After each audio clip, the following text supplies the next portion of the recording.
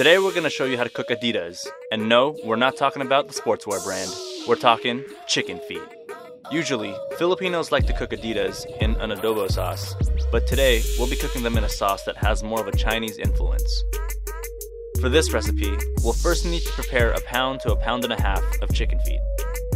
Using a meat cleaver, chop off all of the tips of the fingers of the chicken feet so that the nails are completely removed. We found that spreading the actual fingers makes them a little easier to chop. Just be careful not to chop your own, and take your time if you need to. Once you're done giving your chicken feet a manicure, place them into a pot. The purpose of this next step is to kind of cleanse the chicken feet of any impurities. Next, add in half a tablespoon of salt, 1 4th cup of ginger, and just enough water to fully submerge all the ingredients.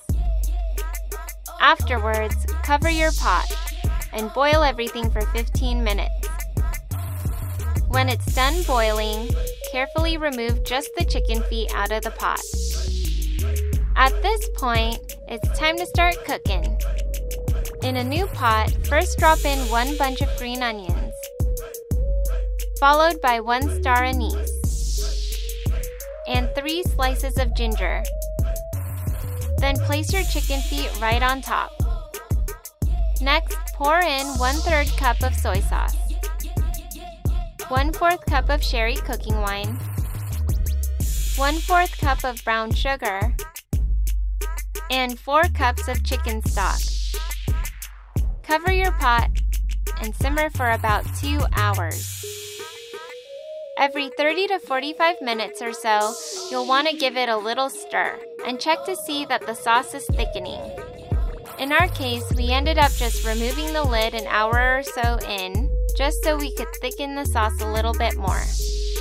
After it's done cooking, the chicken feet should have a nice brownish color to them from the sauce. If you've never eaten chicken feet before, at this point you might be thinking, how the heck do you eat these? Adidas can be eaten with white rice, but you can also just snack on them as is.